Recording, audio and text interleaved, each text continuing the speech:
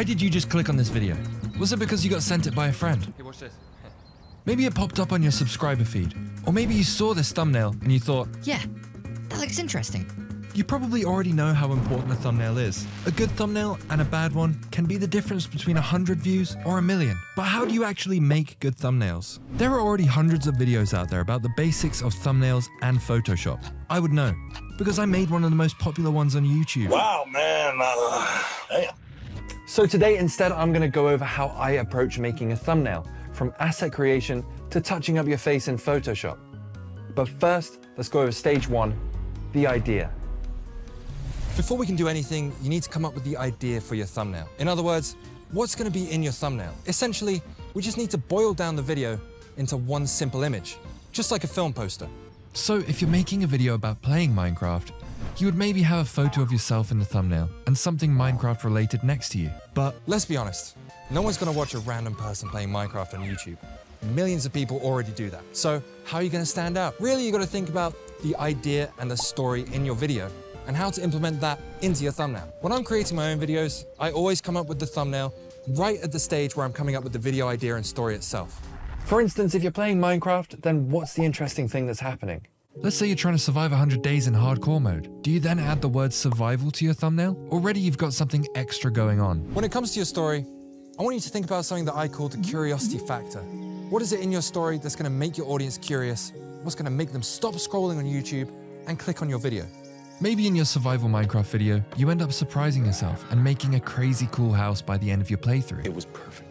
You could make a split thumbnail, losing the picture of you and instead teasing the final result. And then instead of making it clear, you could slightly blur the final result picture, making people ask, What's going on here?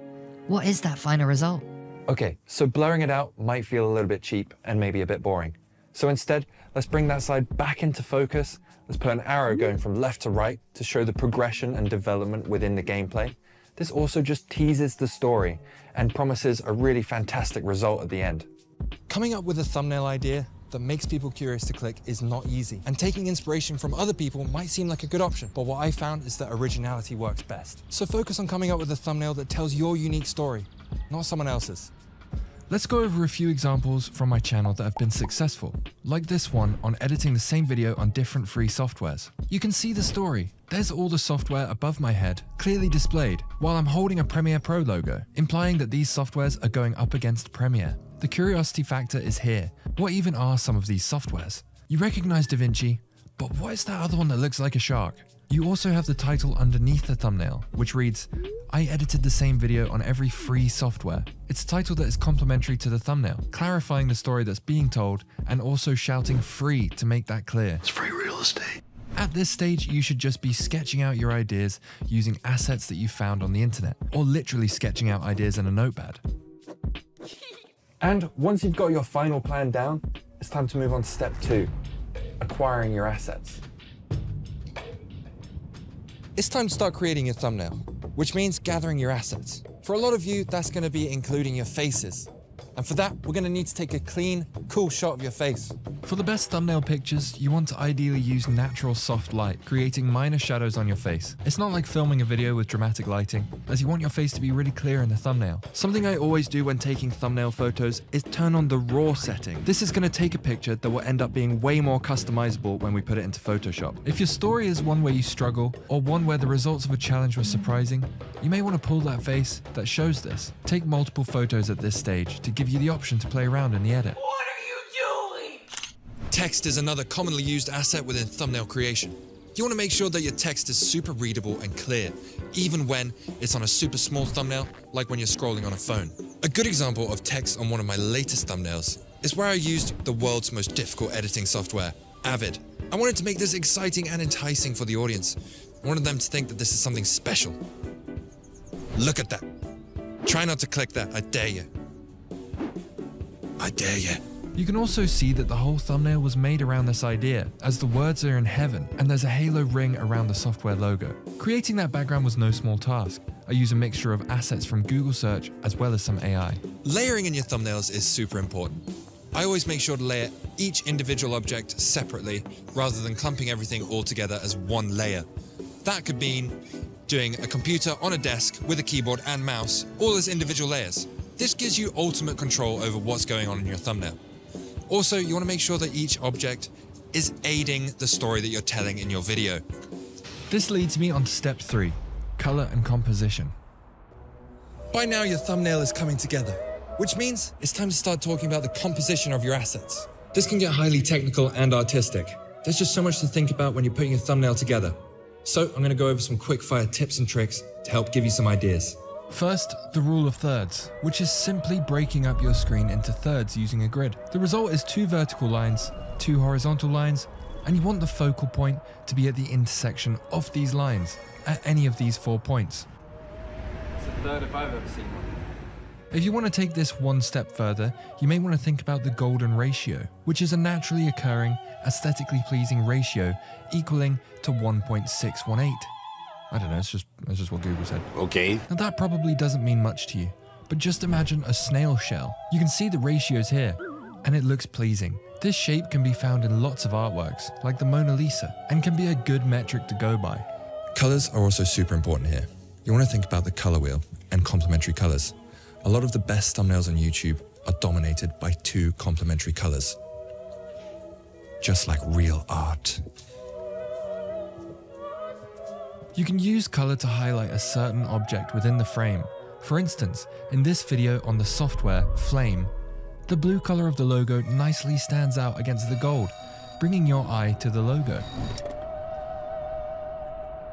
Hello? Oh, yes. Oh, orange and blue are complementary colors. That's excellent news. Thank you very much. I recommend studying colors. Study the color wheel and see what works for you. Go with those two complementary colors. Just try it out. But really, what I recommend is simplicity. You don't want to go too overboard with millions of different objects or with different colors. It's just not going to look good. This brings us on to step 4 finessing. And when I say finessing, what I really mean is editing this thumbnail in Photoshop. I've uploaded the whole video of me editing this thumbnail on my Storezar channel. The link is in the description. You should go check it out if you want to see me do the whole thing from start to finish. Let's begin. So let's run through this in quick, bite-sized chunks for you and get your thumbnails looking like masterpieces in no time. After you've opened Photoshop, pull in your assets. Now if you took raw photos, like I suggested earlier, then you'll immediately be prompted with a camera raw edit page. Now this is a really good way to create a basic grade on your face picture if you have one. The kind of grade I go for here is one which looks natural and bright. Easily readable is the goal for me. But of course, go for something that suits the concept of your thumbnail. Click OK and wait for it to load in. Then we're going to create a copy of this layer by pressing Ctrl and J and rasterize that new copy. With that done, I'm to cut myself out using the magic selector tool up here. Make sure it's on lasso mode. Draw a loop around your really beautiful subject and then hit select and mask. This will give you a new window in which you'll want to make your subject completely selected. Click and drag to select, then alt click and drag to deselect. Photoshop probably won't make a perfect selection if your background sucks, like mine. But don't worry, you can erase stuff with the eraser tool later. So when you're done, click OK. Now we need to source a background. I found mine by typing in a specific search term on Google Images, but you can go ahead and use your own assets. Or create one with AI. Just pop it in like your other assets and see your masterpiece already taking shape. It's here that you can think about creating light sources, objects in the background, things like that. Having a light source that makes sense with your original subject picture is going to make your thumbnail look a whole lot more interesting. I'm adding a Minecraft sun right here, following the picture of me that has this natural highlighted edge around me on my right.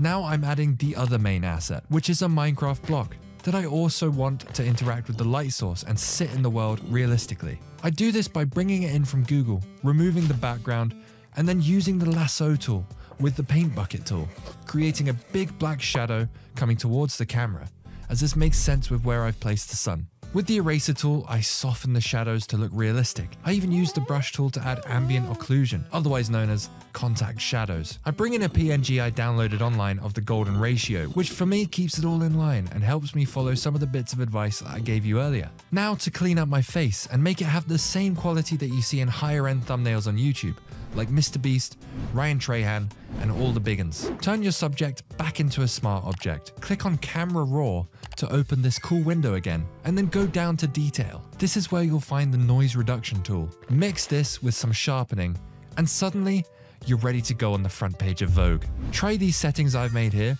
or play around to find your desired outcome. But there it is. Nice and simple, the secret sauce that not many people talk about. Finally, I make some smaller adjustments to my face, getting rid of my ugly. Hi, I am very ugly, but you should enjoy the movie anyway.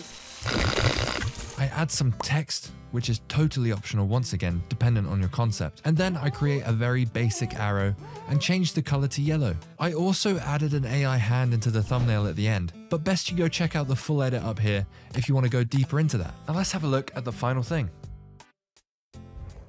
And there it is, a finished thumbnail.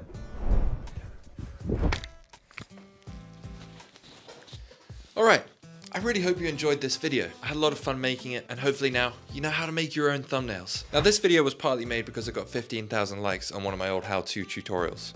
Um, clip. We have to get past 15,000 likes on this video. So this time, let me know what kind of tutorial you want next in the comments.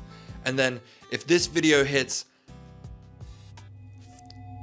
30,000 likes, I'll do it. I'll do whichever one's been voted the, the highest. Once again, the video link is in the description if you want to watch me edit the whole thumbnail on Photoshop. It's on the Storezar channel. Go check it out. It's going to be very useful for anyone who's really wanting to learn thumbnails from scratch. Thank you for watching the video.